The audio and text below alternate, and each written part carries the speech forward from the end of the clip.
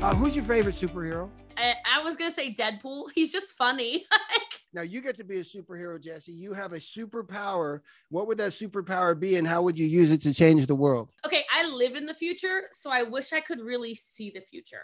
That would be really cool. Mm, nice. Who's your most influential mentor?